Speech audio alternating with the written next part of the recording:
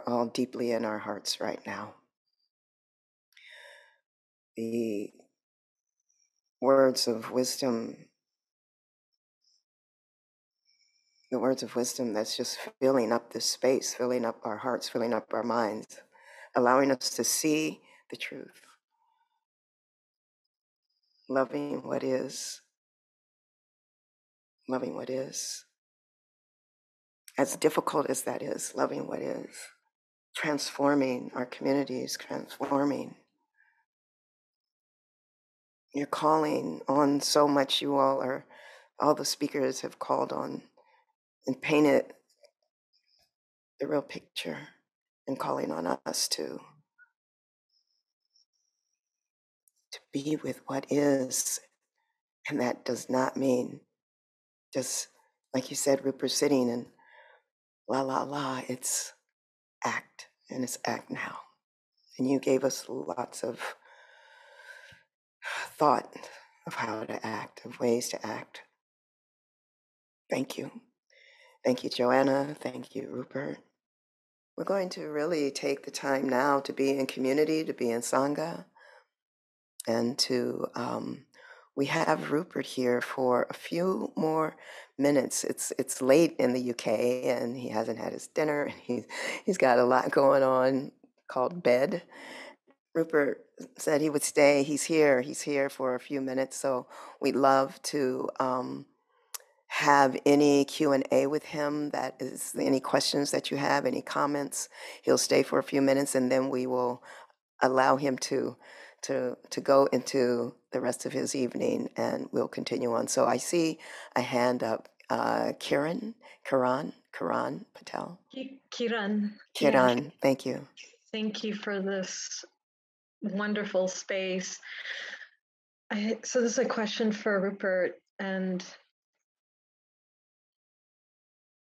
when I was hearing your share, I was sensing perhaps reading into it. And so I want to check out with you um, a bit of an undertone that I was sensing of separation. Um, so I want to ask you um, can you, you made the comment about the leaders of COPs or something. Can you see yourself in them? where is your heart in relation to them? And your strategy for for if I understood your your story, your whatever correctly, um, destroying a building. I think of destruction as some form of violence we just had a tremor right as I spoke, earthquake tremor here in the Bay Area. Um, how do you choose to exercise a strategy that involves destroying a building and still stand in care for all and mm. that consciousness of oneness outside of like just transcending separation? or do you mm. do or do not? Thank you. Yeah, thank you, thank you. Uh, so look, let me uh, clarify a little um, what I actually did. so uh, what I did is I threw uh, fake blood over the steps of this building, um, and uh, the blood, the fake blood, is uh, is water soluble, so it would just wash off. Um, so I was arrested for criminal damage, but I didn't even do any permanent damage to the building whatsoever. Um, moreover, um, there is a really important question, it seems to me, about the definition of uh, of violence. Um, I believe that violence is uh, essentially doing harm to other beings, hurting uh, other beings. Um, I think that if you um, damage a, a, piece of property that is not necessarily uh, violent.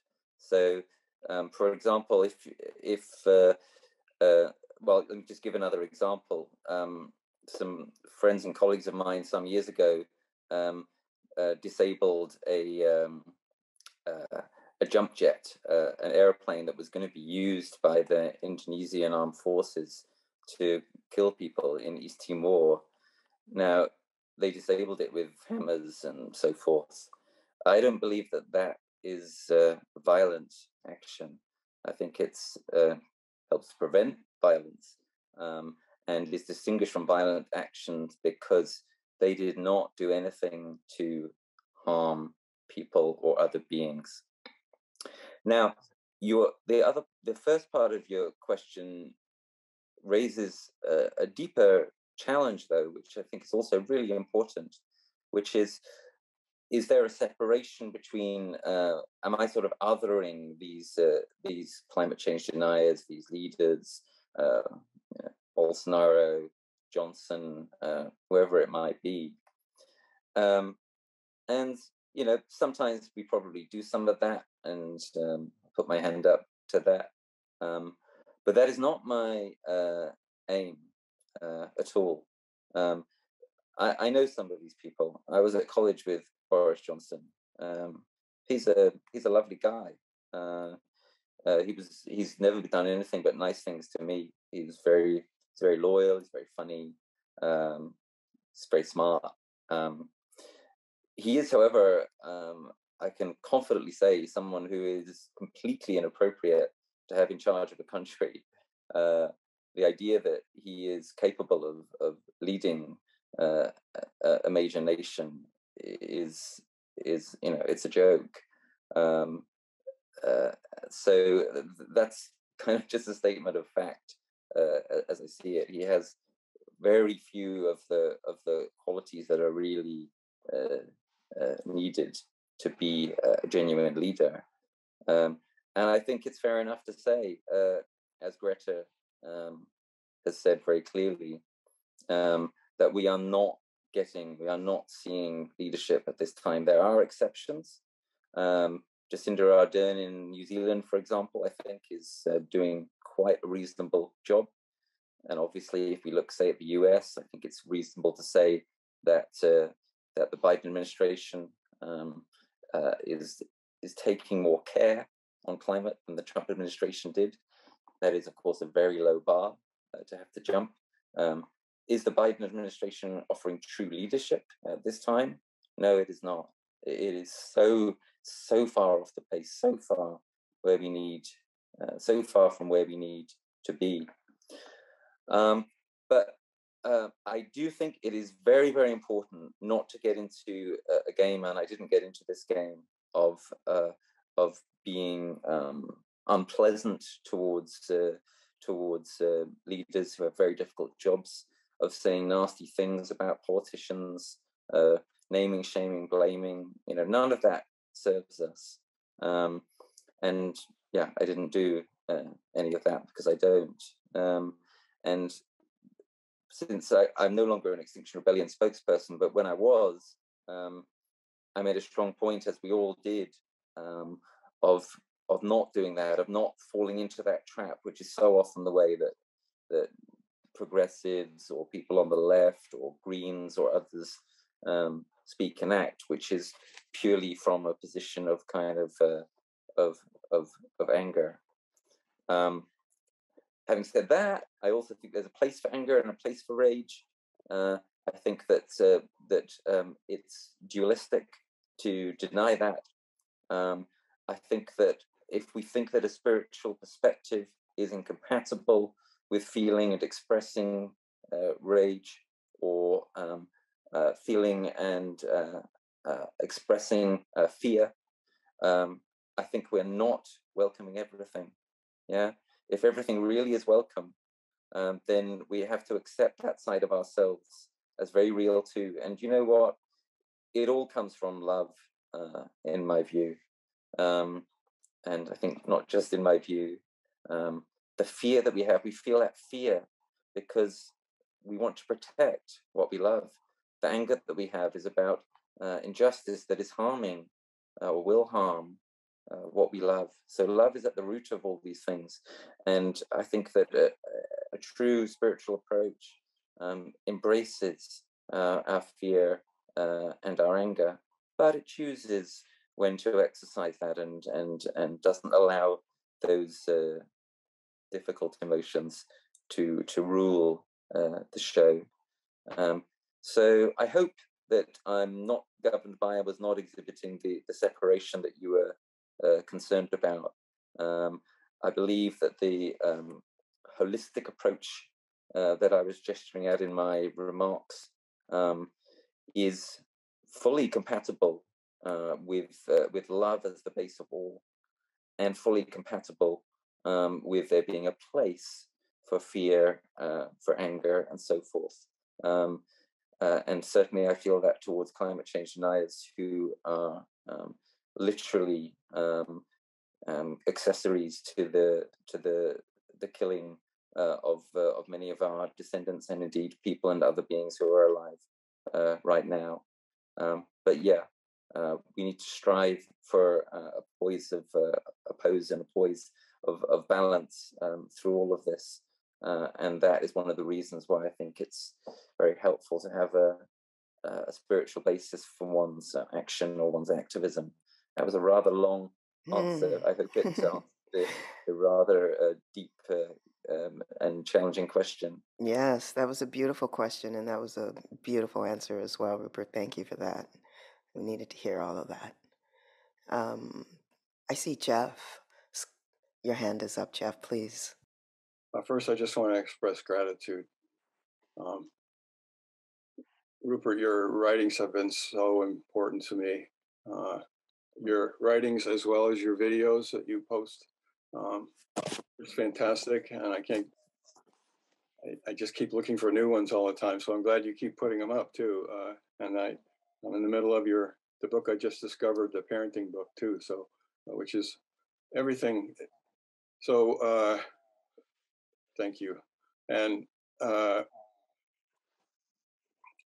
so, yeah, so Joanna, you, Thanissara, all have been such uh, supports for me, you know, and because of the clarity with which you address the things that I've been addressing also, but uh, not able to articulate or write uh, or public speak. This is actually huge for me to actually even unmute myself and come on and talk with you guys. Um, uh, which has has stopped me a lot of my life from uh, using the the. Uh, I feel like I have this gift of finding the truth when other people are are presenting it, you know.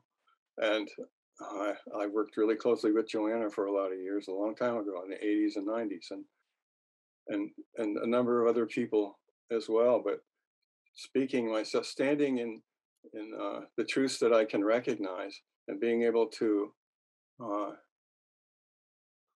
utilize them in public presentation isn't a gift that I feel like I have, and I, and I have tried it and many times, including when I was working with Joanna, and and uh, a lot of times I just get disconnected from being able to think clearly and uh, I kept trying it many times, and I had I just have this fear of public speaking, I guess. So, I, anything that you could say to to me, and I'm sure uh, this, I'm, I'm not totally unique with this. Uh, I'm sure there's lots of other people that feel this way, and uh, to you know what what has helped you, Rupert, in in uh, uh, being able to have the courage to name things as directly as you have in the face of I, I know you've gotten a, a lot of uh, blowback for I'm sure your whole life. So uh, any, anything that you could offer to us in that regard and to me would be really really appreciated. Well, Jeff, thank you. That was such a, a lovely a lovely uh, question. Uh, and uh, yeah, obviously, I appreciate you mentioning my book, which is uh, Parents for a Future um, How Loving Our Children Can Prevent Climate Collapse, which is, um, I think, it's probably the most important book I, have written. And um, I'm really hoping that it will uh, make a bit of a difference uh, in this incredibly hard time that we're in. So, coming to your question, well, look, firstly, may I say that I think you expressed yourself very nicely just then. That was just fine. Um, and also, I want to note that you did remark that you uh, that you did have quite a, a, a, strong kind of quality you thought of kind of finding um, wisdom, intelligence, whatever it is, and kind of um, being able to sort of uh, put that together, you know, maybe there's something there around um, uh, sharing that with uh, stuff you find and then sharing it with other people. Um, and that could be sharing, obviously, via um, uh, the web, um, via writing. it doesn't have to be via public speaking. And to generalize from that, I guess what I would say is um, we all need to kind of um, tune into what our potentially unique gift is uh, in relation to this great task, this great work uh, that we are called to. Bearing in mind that we're called to do it together, which has been emphasized a few times already this evening. This evening, it's this evening for me.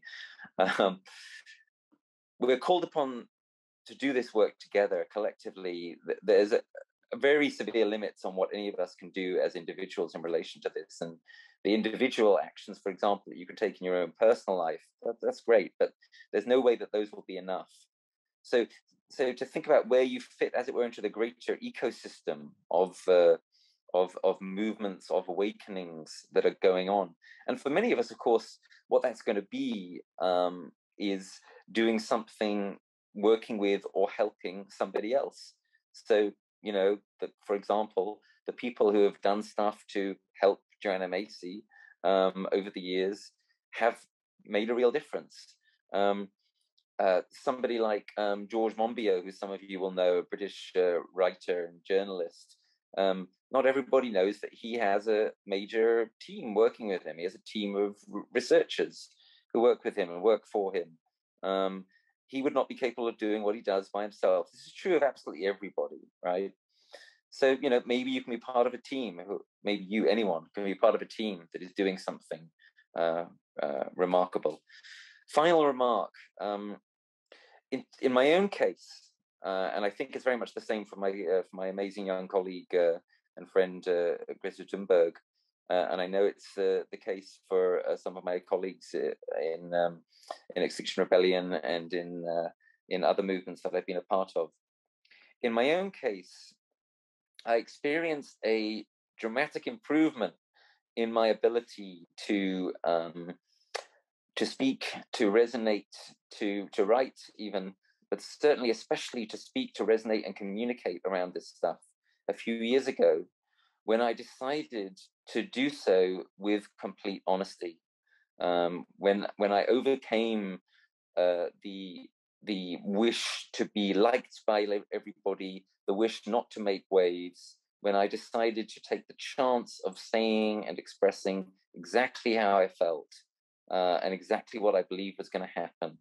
And that to me start for me started about five years ago, and then it was accelerated by Extinction Rebellion uh, two, three years ago.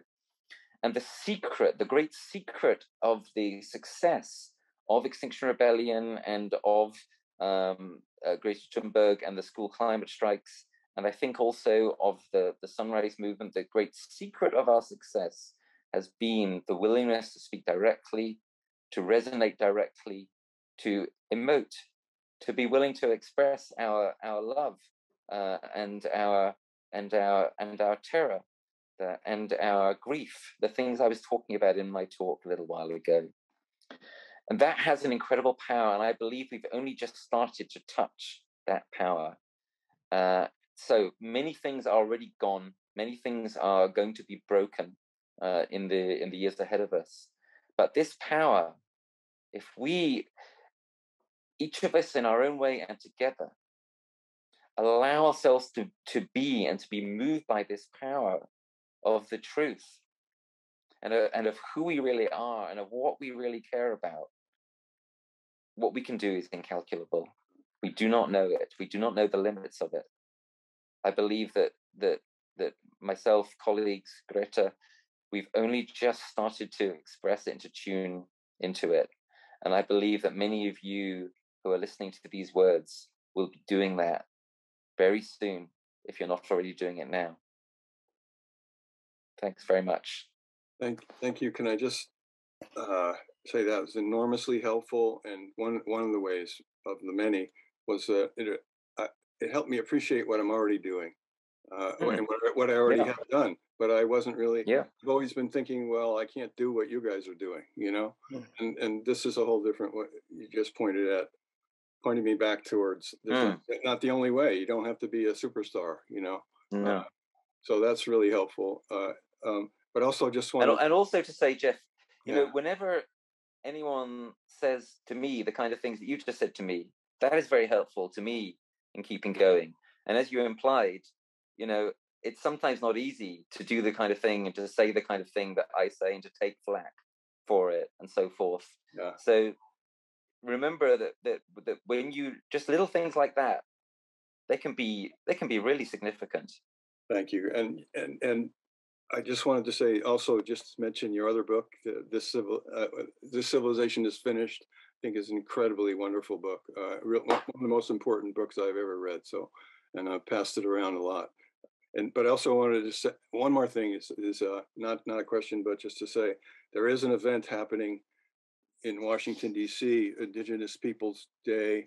There's a five-day civil disobedience happening. If you go to people that might be interested, it's uh, called People versus um, Fossil Fuels, and it's indigenous-led, and uh, and it's it's being organized right now. You can jump on it if you want to get come and just be support or come and get arrested. So uh, it, you can you can just just uh, pe- people vs uh, fossilfuels.org. Thank you, Jeff. Thank you. Thank you for this beautiful conversation. And I'm I'm aware of the time in the UK right now, and that Rupert has signaled that he actually has to go now. I know many of you have so many questions and comments. Rupert, thank you. Thank you for being with us. Thank you for your love, for how much you love this planet and how much you love life on Earth. Um, and we love you. Thanks, thanks, Konda. Thanks, Thanissara. Thanks, everybody. I'm really pleased to have been here, and I wish you uh, a great rest of the day. It's important work. Beautiful. Good night, everybody. Okay. I'm going to say good night because it's dark here. Bye, Rupert. Much metta. All right. Be well. Be well. Beautiful. Whoa. Ah. so Thanissara, I think what we want to do is just continue where we you had beautiful, I hope, breakout groups where uh, you might have shared. Um, if there's anything that you would like to share, any questions or comments from anything else that has happened this today, or please, where the floor is open. And I see Jennifer Carson, you still have your hand up. a, a time. We also have a time Yeah, we do. Um, Oh, wow. dynamic because we've sort of almost come up to our our. Mm, I know we're sort of just sort of motoring on through. We we haven't had. wow. We had so much time earlier and it just went away, didn't it? Uh, Do we take one question or just move to break? sure, let's just squeak one in if we can. Okay. Jennifer, your hand is up if you can. Yes, um, and I will try to make it brief in the interest of time. I, I wanted to um, ask a follow up uh, about Konda, something that you said, but it's really for both of you um, about the sort of delusion of, of separateness and Mhm. how central that is to, to change in our practice and in our kind of view um, in order to move forward in any kind of useful way. And I wanted to know so I have a mostly Theravada practice I've had for a long time. And I would love to hear from both of you what practices you do in what meditation, how you incorporate some um, training and sort of undoing that delusion of separateness and, and strengthening the understanding of interconnectedness in your in your meditation practice. Oh, thank you for that question. Um, I have to say the power of metta has changed my life, honestly. The power of metta is something that I incorporate how I live on the planet. Whether I'm walking and um, I'm about to step on a little being, um, and I give metta. I'm I I am a person that metta is my default. It's my default, and so what that does is connect me to all life um, whether I'm in a car, walking, driving, talking. Um, it is a it is my it's definitely my default, and so it has deeply connected me to all life on earth and to understand my deep interconnection, and so that is my practice, and I um, it's it's nonstop. It's sometimes I wish it off, you know, but it's a nonstop kind of a um, tape that goes right to my heart and it's just not a head thing but i i um so that's my practice and i it's i can't be anything but deeply connected because of my metta practice. Oh, thank you. That's so helpful. Thank you. Mm-hmm. You're welcome. I, to me, there's a dance between, and it goes to the question to Rupert, between um, seeing the being and, and Baba's the oneness, everything resident in this one awareness. So, and it's connected with the metta where you feel you give rise to aversion that creates a separation or judgment. So, for me, the direct practice is coming from the discriminative dualistic mind, which we actually uh, live in abstractions in and coming more directly, and this is the foundations of mindfulness as you practice Theravada, into the felt sense embodied experience. And so the somatic knowing is a less discriminative place and it connects with feeling. And I think this is where we also root the metta is not just cognitive, but rooted in feeling. And once you're rooted there, there's empathy and connection. And this also, for me, is also balanced with equanimity, where the inevitability of dualism is also the, sh- the play of shadow and light is part of our learning curriculum in this plane.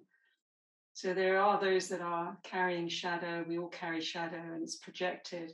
And a lot of what we're experiencing now in this apocalypse, meaning that you know things are being unveiled, is to see our collective systemic shadow, which we started the day with, looking not just at personal practice, but looking at systems and how much of that shadow is now in the conscious mind rather than held in the unconscious for us all to engage with and to purify and to transmute and transform. So, as um, you'll hear this afternoon, when we talk to Indigenous elder Alison Iharo Brown from Ohlone Lands, Oakland, um, that um, one, and I'll finish with this because I know we're taking a break, but one of, and Jeff just mentioned the the the act, activism that's happening at uh, Washington right now at State Capitol building is one of the actions there a few years ago against the Keystone Pipeline between an alliance of Indian and Cowboy alliance that have worked together to stop the pipeline and one of the cowboys um, that were in that another five day action there, talking about we're all Indians now, or we're all in the margin, you know, those people that have been lived in the margins of this society and the systems that we are in and have been oppressed by them have known this forever. but, we, but we're all now up against the systems that have a life of their own that are killing the planet and we all contribute to those systems so those those are all things that are coming up for us to look at. So the equanimity mixed with the compassion and the metta uh, allow for this deeper vision the the deep time of joanna macy to see the deep work and to be able to have resilience through the ups and downs of that work um, so yeah, these Brahmavihara frames are really important for us in meeting this challenge that we're in. So uh, let's just leave it there for now.